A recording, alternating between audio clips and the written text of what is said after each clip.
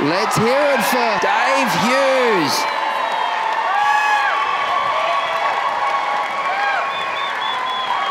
Come on! Go nuts! Enmore Theatre, the best venue in Australia! No doubt about it. I am pumped up. We've got 12 of the best comedians in the world are going to be on this stage tonight for your entertainment. Are you pumped up? So you should be. And you look at us, we're out and we're about and we're bloody living our lives. Yeah. Most of us haven't got masks on. oh my God, that was tough. Since what, mate? Since you can't see your mask. All right, that's weirding me out. Guy in the front's got an invisible mask and he's possibly on LSD. No, it's great to be here. I am pumped up. And I, I, you wear a mask when you, it's your decision. You want to wear a mask, you wear a mask. Fair enough. But be consistent. Saw a guy the other day in Bondi on a bloody, on a, on a bloody, bloody, it was on, what was he on? He's on a skateboard going down a hill, I reckon doing 70, looking at his phone, had a mask on. When you hit that truck, you won't get COVID, will you, mate? Honestly, the mask was confronting for me. I had no idea I had bad breath until the pandemic started. The coronavirus isn't going to kill me, it's my, only, my own stink.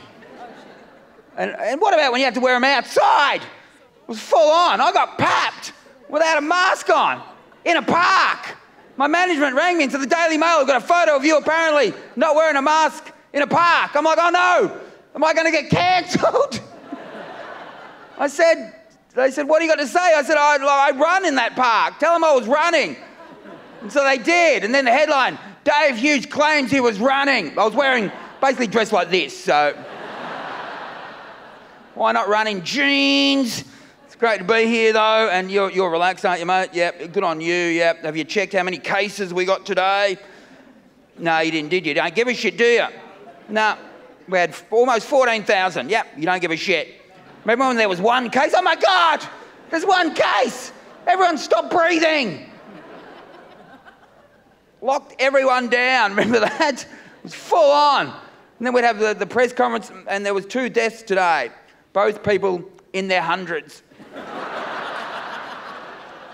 not two people in their hundreds. They're dead. COVID's taken hours from their life. and no one can go to their funeral. Oh no! Luckily, all their friends died 30 years ago. Even their children have died of old age.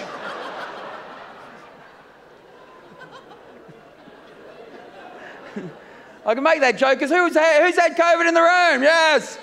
Well, you know, the Queen survived it. She's 96. It didn't even touch the sides. The Queen. Good on the Queen. And who gave it to her? I reckon it was her son, Charles. What do you reckon? Charles has wanted to be king for about 40 years now. He keeps looking at mummy, and mummy's looking at him. I'm never gonna die. He's had COVID 15 times. Every time he brings it straight home to mummy. Come on, mummy, give son a hug. Let's kiss on the lips, get the tongues involved. All right, I feel like I've crossed a line. Uh, it's going to be there. I know you're pumped up. Well, I'm pumped up. I've never been more pumped up. It's the night of our lives. We've got to live before inflation takes everything from us. Did you see the story today that a lettuce is more expensive than 12 chicken nuggets? That's going to devastate my children. Dad, we can't buy lettuce. We're going to have chicken nuggets. We're going to have to. We can always go to Woolies though, the kids can go to Woolies. You've seen that sign? Free fruit for kids at Woolies. Oh, good on you, Woolies. That's going to get my three in there every day. Guess what, Woolies? I've been having free fruit at Woolies for 45 years. That's our right as Australians. To this day, the first thing I do when I turn up to Woolies is go to fruit and veg, grab a bag, fill it full of their finest quality grapes,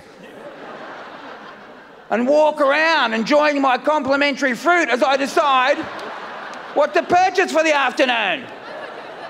Often I don't buy anything. Get so full of grapes, I'm happy. Give the empty bag back to security guard at the exit. Just, just looking today, mate. You can have that bag back. I'm not paying 15 cents for it. You're the best crowd I've ever had. I've never been more pumped up. It's the night of my life. And good on you. I've had a long time with no crowds at all. Trying to do gigs at home in front of my children. Once my daughter turned 10, they had three of her friends over doing a few jokes until her bloody brother piped up. My 12 year old son, he goes, Dad, this is sad. You're so desperate for an audience, aren't you? Yeah, I am, mate, I am. Support me, I support all the bullshit you do. Friday, yeah, Friday night, I've got to drive him an hour to play basketball under 14s. He'll be on his TikTok the whole way. We get to some god-forsaken joint, and he goes, yeah, just pull up out the front let me out. You go find a park. Remember one night he said, see ya, wouldn't want to be ya. I think you would, mate. I've got the fucking car, okay? So... anyway, I go in, watch him score two points. On the drive home, I carry on like he's LeBron James. Anyway, no, it's great to be here. You're a great crowd. I've never been more pumped up. No, I am. I'm super pumped up. I'm super happy. I'm in a super happy relationship. no, I am. No, I am. I'm in a happy relationship. Tell you what, though, I, I, I look, I, am from Melbourne, come to Sydney, and uh, you know, it's a beautiful place when it's not raining, isn't it? It's a beautiful place. You never had a curfew. Melbourne had a curfew for a year. You couldn't leave the house after 9 p.m. It was weird. Not even to put the bins out. I can't put the bins out. I'm sorry. They'll pepper spray me. Just throw it over the fence.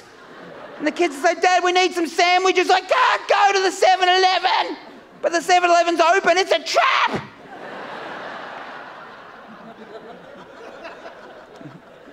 I've got one. I've got, I've got to talk about Bondi Beach for a second. What is going on at that beach? Honestly, people are too fit. No one's eaten a slice of bread on that beach since 1977. It's bullshit. I took some chips down there and the seagulls are looking at me going, What are they, man? Where's your quinoa? I gave a seagull a chip and look, he said, This is the good shit. This is like crack. Anyway, but don't take your family down there, though, honestly. Not if you. My wife is beautiful, there's no doubt about that. But we sat on the beach, me and my wife, and there are three kids next to us, and then two really, really attractive women put their towels down right beside me, like right there, way too close. I'm like, no, no, no, no. This is your life, that is not your life. Look straight ahead, look straight ahead, look straight ahead. Then my wife freaked me out. We've been together 20 years, she's never done it before. She said, check out those girls beside us. I'm like, what? Could have we been perving together for the last 20 years? But then I had to act. I had to pretend I hadn't seen them. I said, what girls? She said, the girls right beside you. I said, what side? She said, well, we're on this side, so the other side. I said, oh, I hadn't seen them. All I ever see is my happy family. She said, check out what they're wearing. I said, if you insist. I said, I'm going to think I'm going to need my reading glasses. I can't see much. She said, they're called Brazilian cut bikinis. I want a pair. Will you remember? I said, I think I will. I can't remember where our car is parked, but because I love you, this I will commit to memory.